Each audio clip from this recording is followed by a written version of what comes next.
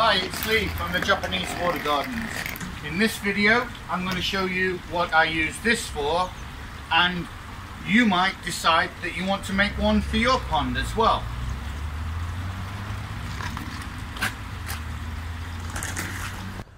This is what I use to vacuum the bottom of the ponds.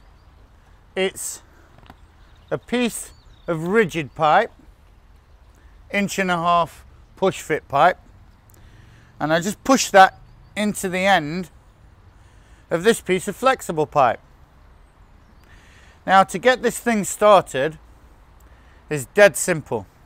You put the end of it in the pond and this end here if you don't mind the germs you could just suck on the end of that pipe and it would start pretty easily but this is a tip that you can use to start it without having to do that you take the pipe and put it in the water the air will bubble out and the water will run into the pipe.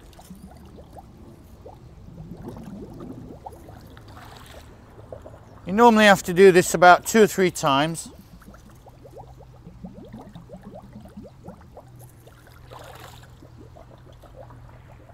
And then you just drop that end down on the floor.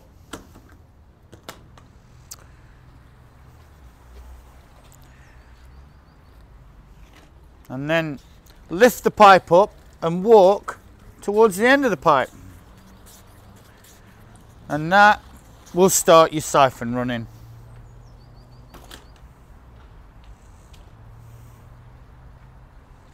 Once you've got that running, you can throw that into a drain.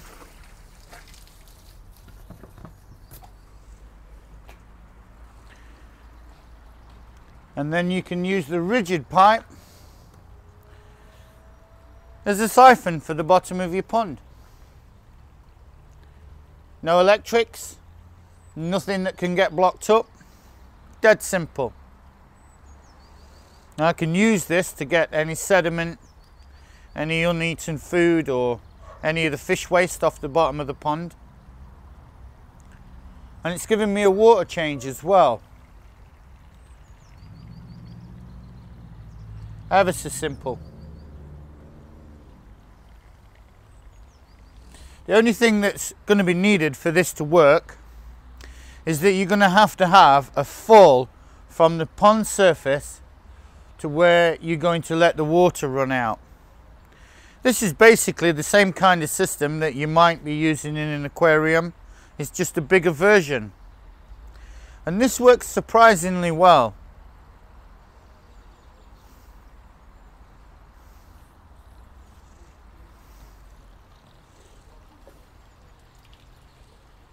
when we're finished with it.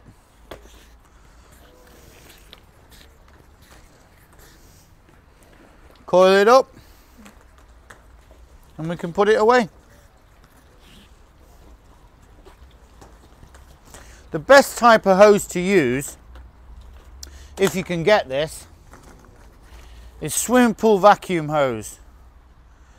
This is very easy because it's really flexible um, and it's a good diameter but there's no reason why you couldn't make something similar to this using some normal flexible pipe obviously the rigid section here at the front that's needed so that you can guide the end of the pipe around on the bottom of the pond.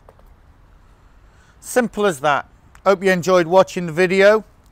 Please make sure that you subscribe to the channel. It's bye for now from Lee at Japanese Water Gardens